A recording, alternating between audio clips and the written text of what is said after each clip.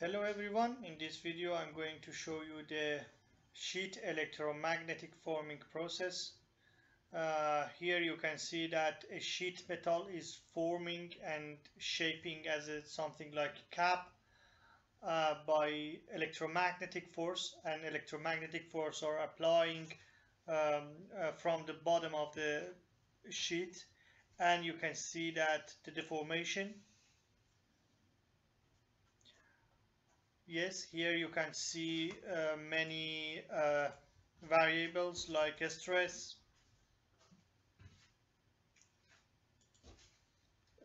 equivalent plastic strain, and um, every parameter you want to see. Okay, here in this video I'm going to show you how uh, this copy is uh, produced with electromagnetic forming process and how you can do it with yourself. Of course, there are many details about this process, the modeling, the simulation of this process. You can find details on our website, feaassist.uk. Uh, in the website, you can find many uh, useful information and details about the how you how to uh, model and simulate the electromagnetic sheet electromagnetic uh, forming process.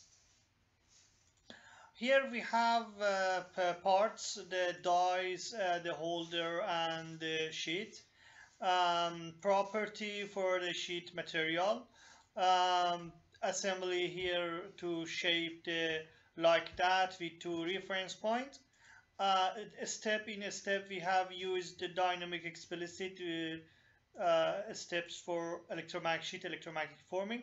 Interaction of course we have interaction between die holder and the sheet.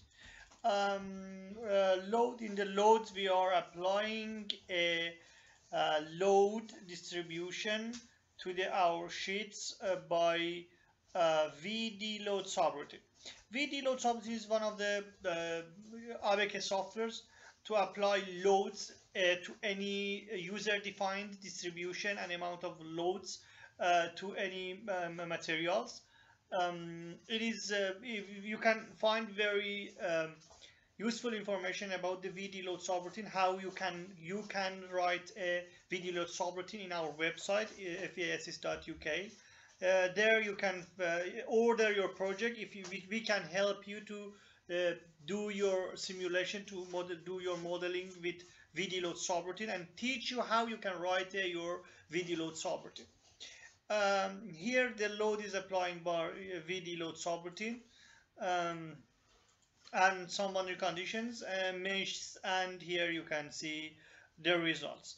Um, you can or we, we can help you to simulate your ABAQUS models and write your VD load VD load subroutines.